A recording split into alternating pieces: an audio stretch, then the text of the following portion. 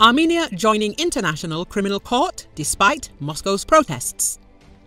Armenian lawmakers voted for their country to join the International Criminal Court, a move that is likely to provoke outrage from Moscow, the South Caucasus nation's longtime ally. The Kremlin has said that a decision by Armenia to join the Hague based court, which has issued an arrest warrant for President Vladimir Putin, would be extremely hostile International Criminal Court member states are required to arrest Putin if he steps foot on their territory.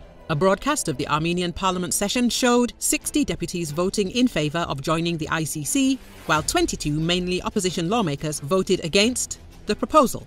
Opposition parties, which control 36 seats in Armenia's 107 seat legislature, protested the move by staging a walkout from the plenary session Armenia's Prime Minister Nikol Pashinyan last week sought to assuage Kremlin fears about his country joining the Hague based court, saying, The decision is not directed against Russia. It comes from the interests of the country's external security, and taking such a decision is our sovereign right.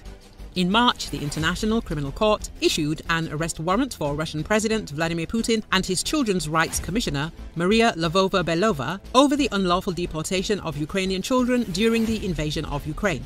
Tensions between Yerevan and Moscow have been rising over the role of Russian peacekeepers in the Karabakh region of Azerbaijan, which announced its dissolution last week following a lightning military operation by Baku.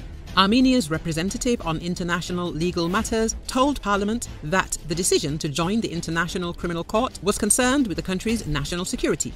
We are creating additional guarantees for Armenia, Eghish Kirakosyan, representative of the Republic of Armenia to the International Court of Justice, told lawmakers.